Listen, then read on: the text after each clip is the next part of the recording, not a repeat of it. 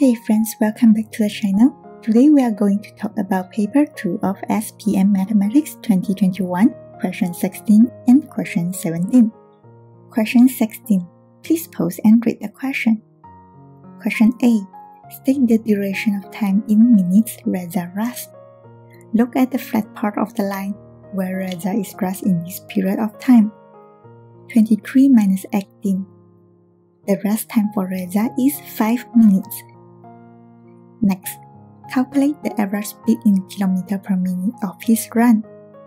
To calculate the average speed, we must know the total distance traversed and the total elapsed time. Average speed equals total distance divided by total time.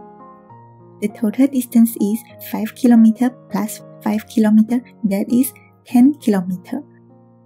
And the total period of time, 45 minutes, included the rest period. 10 divided by 45, the average speed for Reza is 0.22 km per minute. Question 16b. Please pause and read the question. The total calories that Reza should take is 3000 calories per day. He takes 250 calories of protein per day. The angle of sector of protein equals 250 over 3000 times 360 equals 30 degrees. The difference of angle of sector between sodium and calcium intakes is 36 degree. Let sodium be N and calcium be K. N minus K equals 36 degree. Equation number 1. The angle of sector of fat intake is 11 degree. Protein 30 degree. Calcium K, carbohydrate 209 degree, and sodium N. A full circle has 360 degrees. 11 degree plus 30 degree plus K plus 209 degree plus N equals 360 degree. Equation number 2. From equation number 1, transpose K to the right hand side and substitute N equals 36 plus K into the equation number 2. 11 degree plus 30 degree plus K plus 209 degree plus 36 degree plus K equals 360 degree. K equals 37 degree. Question 16c. Please pause and read the question. Reza jumps at point R and smashes two markers M and N. The point R markers M and N on a horizontal surface of a badminton court. It is given that Rm equals Rn and Mn equals 4 meter. Angle MRN equals 38 degree. A perpendicular line is drawn from point R to the line MN and bisects the line MN. Form two right angle triangle and bisect the angle MRN to 19 degrees. Find the length of Rn using sine formula. Sine 90 degree equals to 2 divided by Rn prime. Transpose sine 90 degrees and Rn. Rn equals 2 divided by sine 19 degrees. Rn equals 6.143 meter. Calculate the difference between angle of depressions of marker M and marker N from point P when Reza makes a vertical jump of 0.25 meter and 0.15 meter at point R respectively during the smashes. Reza makes a vertical jump of 0.25 meter and smashes the shuttlecock to the marker M, forming a right angle triangle of PRM the height during the smash is 2.65 meter. The height of Reza 2.4 meter added with 0.25 meter, PR equals to 2.65 meter. Rm is equal to Rn, that is 6.143 meter. Let the angle of depressions of marker M from P be x. Angle PMR is an alternate angle of angle x by using the formula of tangent opposite over adjacent, tangent x equals 2.65 over 6.143. x equals 23.33 degrees. Reza makes another vertical jump of 0.15 meter and smashes the shuttlecock to the marker N. Form a right angle triangle of PRN. The height during the smash is 2.55 meter. The height of Reza 2.4 meter added with 0.15 meter. PR equals to 2.55 meter. Rn is equals to 6.143 meter. Let the angle of depressions of marker N from P be y. Angle PNR is an alternate angle of y. By using the formula of tangent, opposites over adjacents, tangent y equals 2.55 over 6.143, y equals 22.54 degree.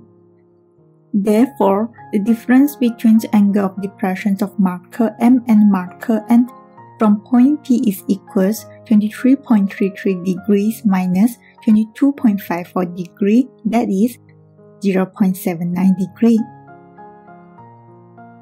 Question 16d. Please pause and read the question.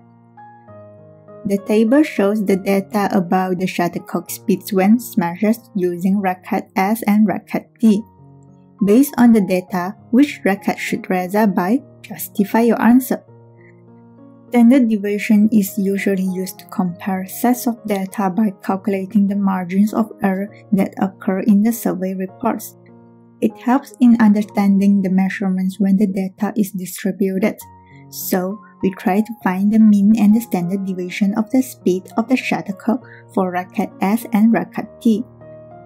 The mean speed of shuttlecock for racket S the sum of 254, 251, 256, 260, and 253 then divided by 5 equals to 254.8. Calculate its standard deviation by using the formula. Sigma equals square root of variance. Substitute all the data S into the formula. Find the sum of the square of 254, 251, 256, 260, and 253 divided by 5 minus the mean square, the square of 254.8. Calculate the result. The standard deviation for racket S is 3.059. The mean speed of shuttlecock for racket T, the sum of 252, 255, 258, 254, and 255, then divided by 5 equals to 254.8. And the standard deviations, substitute all the data T into the formula, sigma equals square root of variance. Find the sum of the square of 252, 255, 258, 254 and 255, then divided by 5 minus the mean square, the square of 254.8. The standard deviation for racket T is 1.939. If one of the rackets should Reza buy, we can see that their mean are the same but their standard deviation are different. In general, a low standard deviation indicates that the data is dispersed close to the mean, while a high standard deviation indicates that the data is dispersed far from the mean. Therefore, by racket T because a smaller standard deviation value indicates that the shuttlecock speed is more consistent when using racket T. Question 17. SMK Seripute organizes a field trip to Kuala Lumpur on a particular weekend by using a charter bus. Question A1. Take the ratio of the number of teachers to the number of students. There are 5 teachers and 35 students altogether. The ratio of the number of teachers to the number of students is 5 to 35. Divided the figures by 5. 5 divided by 5 equals to 1. And 35 divided by 5, 7. That is 1 to 7. Questions 2. A student is selected randomly from the group to be a photographer. Find the probability that the selected student is a boy from Form 5. There are 7 boys from Form 5 students and the total numbers of students is 35. Therefore, the probability that the selected student is a boy from Form 5 is 7 over 35. Simplify the fractions. 7 divided by 7 is 1 and 35 divided by 7 is 5. The probability that the selected student is a boy from Form 5 is 1 over 5. Question 17b. It is given that the total fees collected for the trip is 3000 ringgit Malaysia. Each teacher has to pay 40 ringgit Malaysia more than the student's fee. Find the fee that must be paid by a teacher and a student. From the data given, forming two linear equations and solve simultaneously. Let the fee for teacher be x and the fee for student be y. Since each teacher has to pay 40 ringgit Malaysia more than the student fee, form an equation of x equals y plus 40, equation number 1. The total fees collected for the trip is 3000 ringgit Malaysia. The fee for 5 teachers 5x plus the fee for 35 students 35y equals to 3000. 5x plus 35y equals 3000, equation number 2. By substituting the equation number 1 to equation number 2, substitute y plus 40 into the x variable. 5 times y plus 40 in the bracket plus 35y equals 3000. 5y plus 200 plus 35y equals 3000. Transpose 200 to the right hand side and adding 5y to 35y. 40y equals 3000 minus 200, y equals 70. And substitute into the equation number 1. x equals 70 plus 40. x equals 110. Therefore, the fee that must be paid for student is 70 ringgit Malaysia, for teacher is 110 ringgit Malaysia. Question 17c. Please pause and read the question. Question 1. Based on the information in Table 7, a speed time graph of the bus is drawn as shown in diagram 10. Find the total distance in kilometer of the whole journey. In a speed time graph, the distance traveled is always the area under the graph. To find the total distance, we find their area and add them. Firstly, the distance drive for the first 40 minutes is the area of the first travel jumps. Its parallel sides 36 minus x equals 28 minutes and 40 minutes. Convert minute to hour. 28 plus 40 divided by 60 and the distance between the parallel lines of 90. Area of trapeziums equals 1 over 2 times sum of parallel sides times distance between them. The distance drive for the first 40 minutes is 1 over 2 times its sum of parallel sides 28 plus 40 divided by 60 times the distance between the parallel sides 90. The calculated result is 51. Then, the distance drive from 75 minutes to 200 minutes is the area of the second travel trapezium. Its parallel side 191 minus 79 equals 112 minutes. And 200 minus 75 equals 125 minutes. Convert minute to hour. 112 plus 125 divided by 60 with a distance between the parallel lines of xt. That is 1 over 2 times 125 plus 112 divided by 60 times xt equals to 158. 51 plus 158, the total distance of the whole journey is 209 km. Questions 2. Diagram 11 in the answer space shows an incomplete distance time graph. Using your answer in question 17c1, complete the distance time graph and hence describe the motion of the bus from 8.15 am until 10.20 am. According to the answer in question 17c1, the bus had traveled 51 kilometers in the first 40 minutes. The straight line is drawn from 0 kilometers to 51 kilometers. And the time is 40 minutes.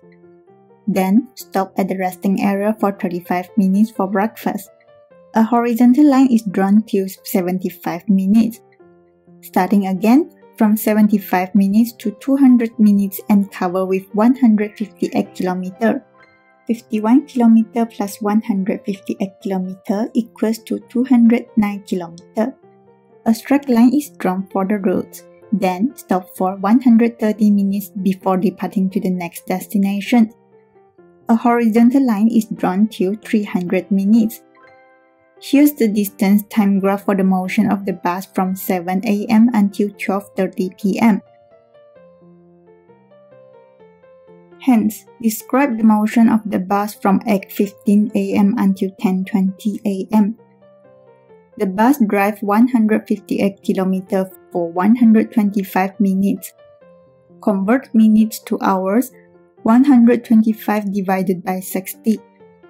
Find its speed. Speed equals distance over time.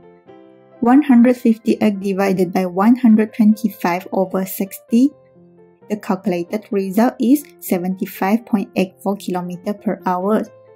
Therefore, the bus drive for 158 km from 8.15 am until 10.20 am with a speed of 75.84 km per hour.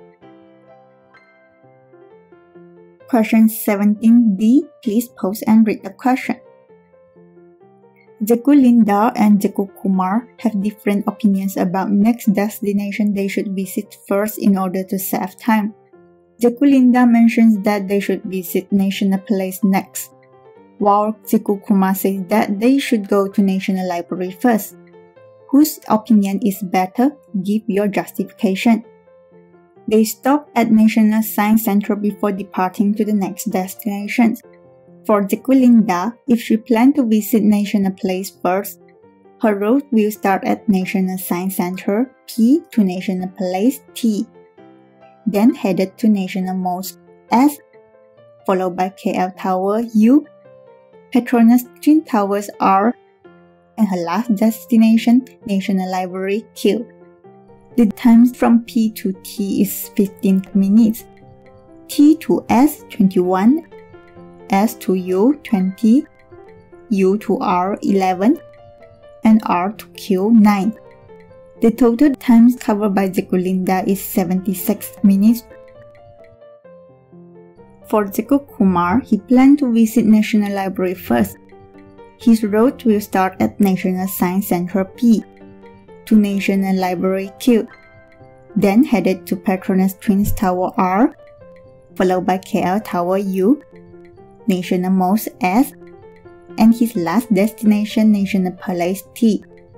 The time from P to Q is 13 minutes, Q to R 9, R to U 11, U to S 20, and S to T 21. The total times covered by Cikgu Kumar is 74 minutes. According to the results, Cikgu Kumar's opinion is better since his route is 2 minutes shorter compared to Cikgu Linda's. This concludes our SPM Mathematics 2021 Paper 2. Hope this video is helpful to you.